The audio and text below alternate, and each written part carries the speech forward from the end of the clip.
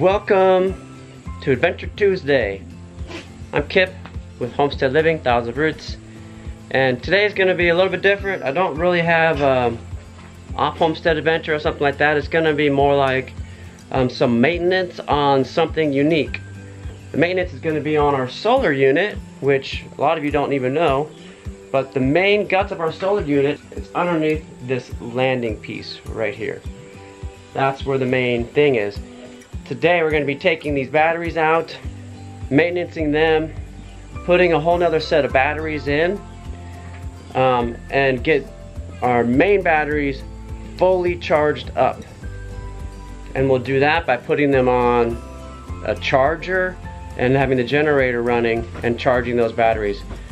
I started out this morning by working on the generator because it wasn't quite running right. Changed the oil, cleaned out the air filter, and it seems like it's good to go. All right, Scooter, so what do we have to do here? Uh, well, we're testing these batteries to see if they're good, and then we're going to replace our current batteries in our solar system with the new batteries so we can charge up the old batteries. Okay, let's see how these test out.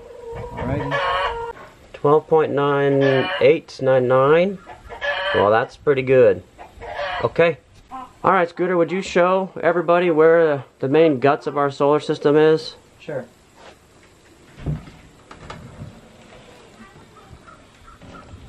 Here it is, you guys. So here's the main workings of our solar system. Oh boy, that's dirty. Alright. Well, we got a work cut out for us, don't we, Scooter? Yeah. Alright, let's get at it.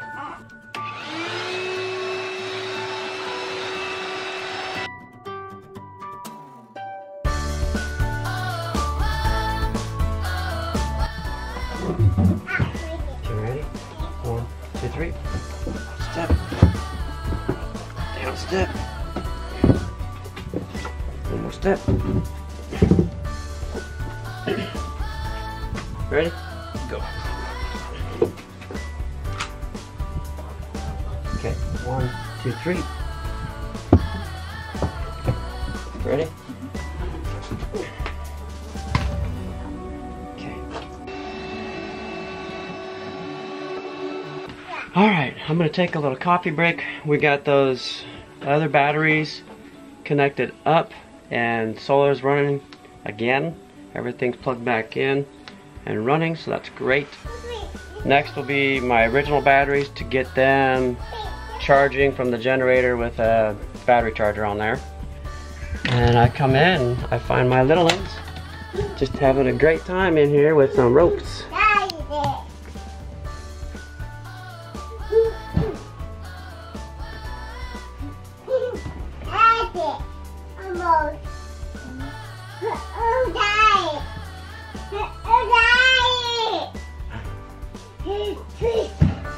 Brother fixing the one that broke. Alright, lunchtime. What you got there, Esther Pie? I got apple slices and peanut butter. Ooh, boy, that sounds tasty. And That's a treat, isn't it? Mhm. Here is Patches. Patchy. He just loves the lovin's. This guy, he's my buddy. Hey, buddy. Let me tell you a quick story, funny story. I was working total high speed, and come on, come on. I was working total high speed, and I go to this house, and it was just before Christmas time, and I meet these folks, and um, I see they have two kittens, and I said, "Oh, I see you have two kittens," you know, and that's when we were just establishing the homestead and everything, and and they said, "Yeah, do you want one?" I said, "Oh, I don't know about that. I can't. Uh, my wife doesn't doesn't like cats, and I can't just be bringing home um, animals to the homestead." And they said, "Oh, please take one. We'll give you a bunch of food if you take one. We'll give you like a whole month's worth of food if you take one of them." And I'm going, "What's the deal? Why do you want to get rid of them so bad?" And they said, "Well, these kittens."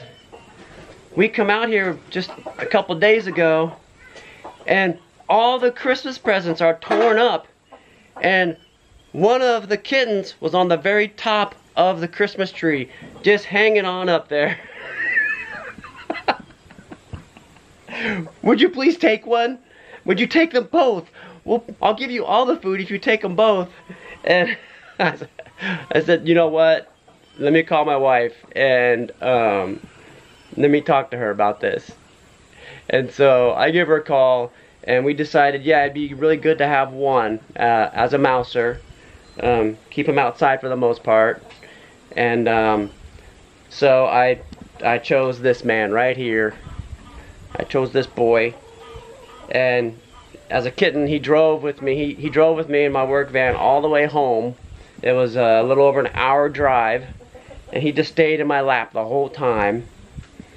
And um, so then we brought him home, and it was obviously, you know, winter time. And so we actually kept him in the house for a while um, because of how cold it was outside. And uh, so here he is now, what, almost five years later, I guess. Huh? He's just about, you're going on five, aren't you, buddy? Oh, wow, okay, I didn't realize it was that long. Yep. Well, there's the story patches. Okay, so got those batteries charging from the generator because those batteries were very depleted. So once those batteries are charged up through using the charger and the generator, then we can go ahead and swap those back out and um, get those back on our system. So that's what's going on with that. Alright, Nate, what are we up to next? Well, we're gonna set up a live trap because there's a, been a raccoon trying to get our turkeys. Let's go. Alright, so right here is where the raccoon was actually climbing the fence when I heard it last night and came out here and stopped them. So this is this is a live trap. This will not kill or hurt the animal at all. And the way you set these things, you lift this here, and then this little hook, it, it controls that plate there. So, when this is hooked on there, you don't want it hooked real, real good, but good enough to hold it. Then when that plate is stepped on, that's what sets it off. So, what I'll do is pour a bunch of this to cover our scent. So I'm sure that people who do trapping legitimately are going to be like, oh, this guy's an idiot. He doesn't know what he's doing. Yeah, you're right. I am. I'm just a city boy. You know, you guys probably don't even really know that about me. I'm a city boy. I grew up in the city. We lived in Alaska before here, but still it was city life. And uh, it wasn't until we moved out here that we really started learning about country living, how to live on a farm, how to do all the stuff that we're doing. Um, has been a quite the learning curve for me and my family. So we're just learning. We're just learning. So I'm gonna toss the meat in there. Hopefully get enough of it all the way to the back where the raccoon will just have to go back there.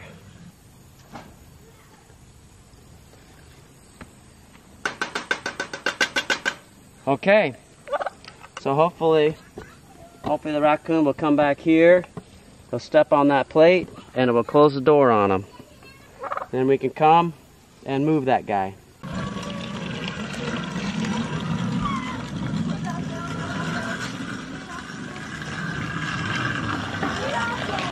Where are you going, honey? Huh? Where are you going?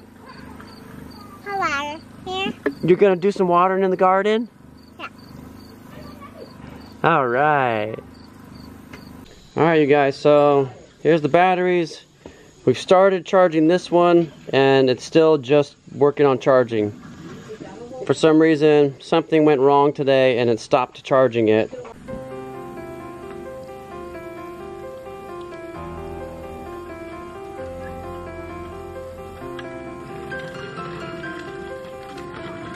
My goodness, look at the size of this guy.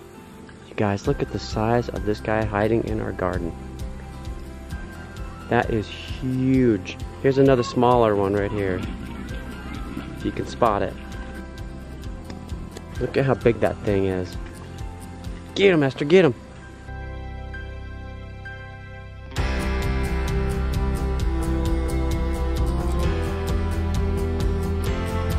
These are yams, you guys. Look forward to bringing you along for that harvest when we get to it. This whole bed is yams.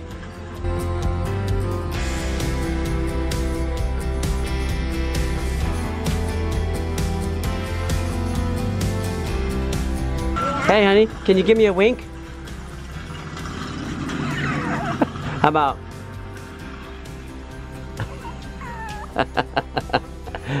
That's so fun. Thank you, honey. I love you. All right, so this is one of our favorite hangout spots on the patio, right next to the garden. We had a good dinner. Did you have a good dinner, Esther Pie? You feel nice and full? Yep. And of course, the little ones are doing all kinds of fun stuff. What's that? Those shoes look just a little bit too big for you.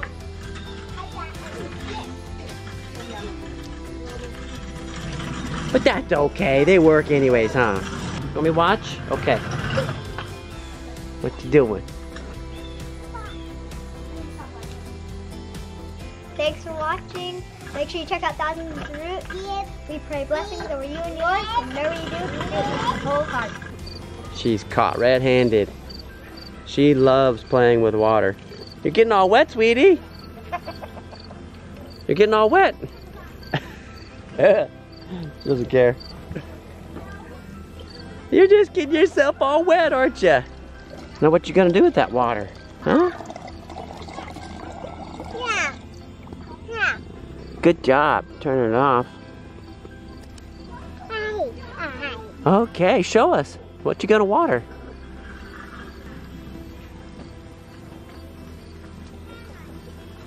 Oh yeah, it really needs it in there, huh? That's right. It goes too slow for her, so she has to just dump it. Because for her, it's all about refilling.